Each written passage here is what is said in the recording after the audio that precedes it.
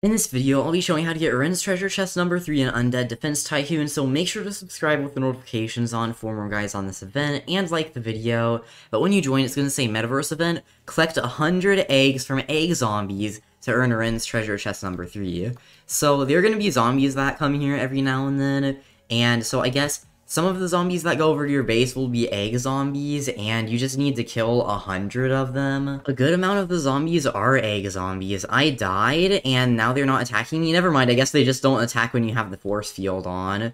But we need to reload, and those are some pretty big zombies right there. Oh no, they can jump over the walls. That is not a good thing. So, oh, it we actually don't need to kill 100 if we kill the big ones. They have, like, multiple eggs, so we can just kill big ones, and they're gonna give a lot more. I think the small ones... Wait, how many do the small ones give?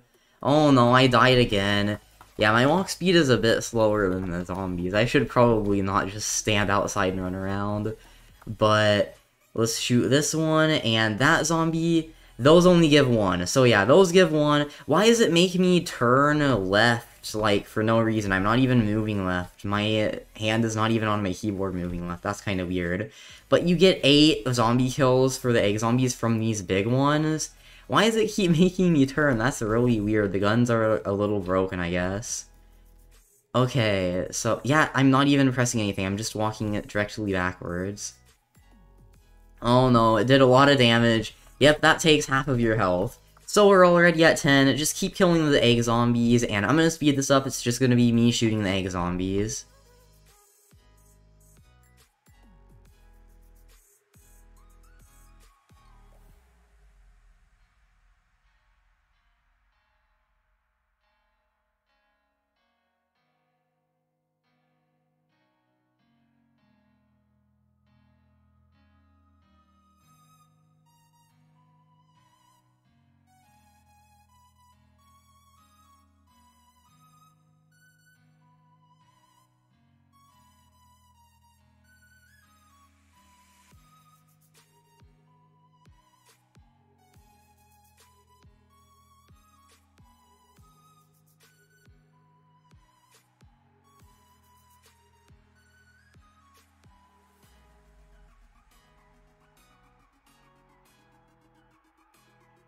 There we go, I got the badge, and so there seem to be four different colors of egg zombies. Like, the regular one just gives you one egg, but then the purple one gives you, like, 15 or something. I wasn't really paying attention. But the purple one gives you a lot. Then the blue one gives you around 8, and the yellow one gives you 3, I think.